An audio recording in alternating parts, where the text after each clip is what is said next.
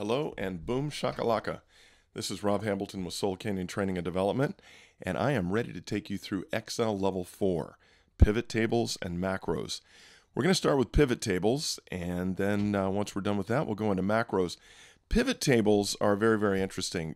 I'm sure you probably know what pivot tables are if you're taking this segment, but just in case you don't, um, there's a lot of things you can do with pivot tables that you could otherwise do with basic database features in Excel like sorting and filtering and subtotals, all things that I've taught in previous Excel levels. But pivot tables really I consider to be the crown jewel of Excel's data analysis toolkit. You can do things with pivot tables that you can't do uh, with those other database tools, and I'm going to show you that now. We're going to start off in this first segment of Excel Level 4 with creating and formatting a basic pivot table. It all starts here. We're going to build it out of this database, this HR database, and it has information like first name, last name, hire date, department, position, annual salary, performance rating, and management level. What we're going to do is we're going to build a basic pivot table, format a basic pivot table, and then I'll show you some of the basic things you can do uh, with the data. So here we go. We're going to start off up here on the Insert Ribbon tab. And then over here on the left, we're going to click this button called Pivot Tables. Now, right here in this dialog box that it opens up, it indicates that it is choosing from the Pivot Tables sheet, Pivot Tables 18, uh, this data array right here, A1 through H26. You can confirm that it's picking up all the right data if you want by just looking down at that scrolling marquee but I see that it's selected all of my columns and all of my rows. Now I'm simply going to tell it down here where I want the pivot table to be created. I'm going to go ahead and select a new worksheet. Now down here at the bottom, the previous place we were was on this pivot tables 18 sheet. I'm going to go ahead and rename that sheet just my PT for pivot table data, just so we don't get confused between the pivot table data in the regular flat database and the actual pivot table itself. Over here on this new sheet that was created, I'm going to rename that my pivot table. Now once again to rename a sheet, all you have to do is double click on the sheet tab and type in the new name and there it is. So here's our pivot table data. Our pivot table is going to be right here. Now the way the pivot table is going to show up over here is when we work over here on the right side of the screen. These are simply our field labels from our database. What we're going to do to activate those different fields is we're going to click and drag and drop them down to these boxes down here. The first question I always ask when I'm building a pivot table is what data do I actually want to slice and dice and add up and average and do different things with? In this particular database, that is going to be the annual salary field. So I will click and drag and drop that annual salary field into this values box. Over here on the left side, the pivot table now really is just one cell. The sum of all of the total salaries from that database, or $1,358,000. Now the next set of questions relate to how do you want to break that information down. So for example, if you say you just want to take a look at it by last name, you could grab the last name field and drop it down here, and now you have it sorted by last name. In a later segment, I'm going to show you how to do all sorts of sorting in Excel, but let's just start real simple. Let's just click on one of these salaries, come up here to the quick access toolbar and click Z to A, sort largest to smallest. Now we have the highest paid person on the top down to the lowest paid person on the bottom. We can turn that field off by coming over here and clicking this box right here and deactivating that field. Let's say we want to see a total salary summary by department. So we grab the department field and we drop it down here in the row labels. Now over here on the left, we have a total salary breakdown by department. Let's say that inside of each department, we want to see a further salary breakdown by position. So now in addition to having it by department, we'll grab the position field by clicking and dragging and dropping it down below department. So this will now show us by department, by position, as you see over here. Now you have the ability to collapse and expand this detail and re-expand it back out just by hitting these plus and minus buttons here to the left left of the particular department label. So that's kind of cool. Now, we're going to further break this down by performance rating.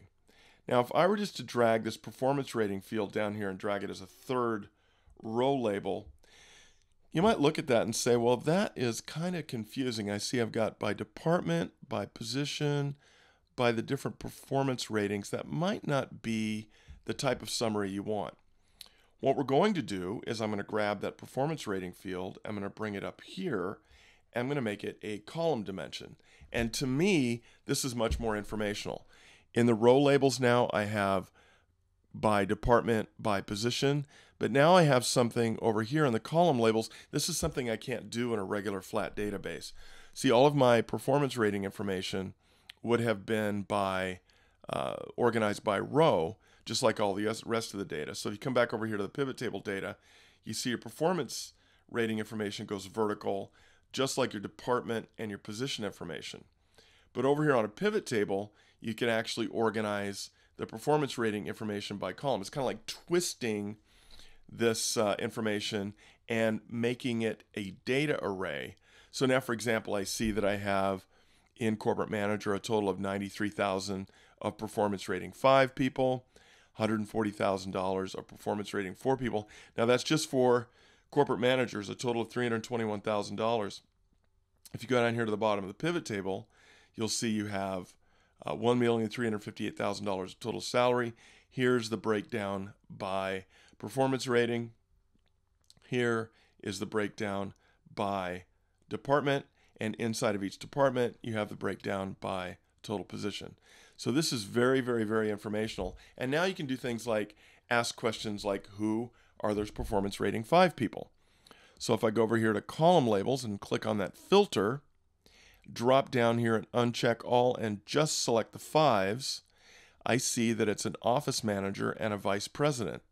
If now, in addition to that position information, I also wanted to see who they were, well then, or who they are, I can grab this last name field and just for a second, add it down here and I see that it's Fernandez and Riddenhauer.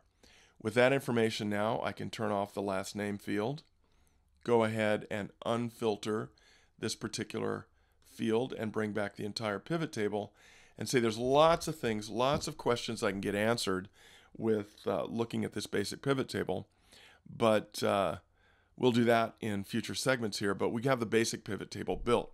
Now, in addition to building the basic pivot table, I want to show you very, very quickly that you can do three very quick things to format the pivot table, make it more usable. Up here, when I have the pivot table selected, up here on the top, I have these extra pivot table tools. Now, these are contextual ribbon tabs that allow me to do further work on a pivot table.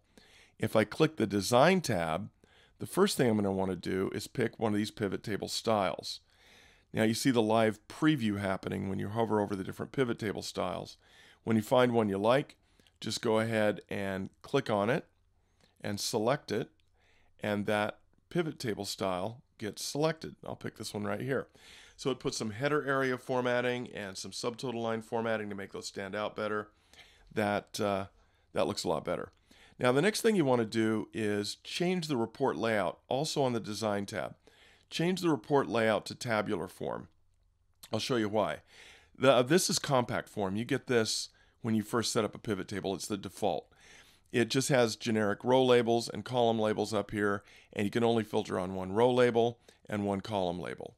But when you come up to the Pivot Table Design tab, and you go over to the Report Layout button, and you select Tabular Form, you'll see all of that gets corrected. You now actually have the field labels here with the ability to filter on all of them. It's much more uh, lined up and easy to use, and it looks better. And then the third thing you're going to want to do is highlight all the numbers in the table and do some basic formatting with right click. And I will turn these into dollars since they are salary dollars. I will decrease decimal twice, click, click, and I'm actually going to increase the font once. And there you go. So now we have a pivot table that we could turn into a very nice PowerPoint slide, a very nice page in a, a Word document as a report, or we could take it and use it as a live analytical tool to take into a conference room with some different managers. So there you go. There is Excel Level 4, Segment 1, Building and Formatting a Basic Pivot Table. Got a lot more to come. Stay tuned. We're going to talk about all different types of things you can do with these pivot tables, but luckily, we've gotten a start. See you on the next segment.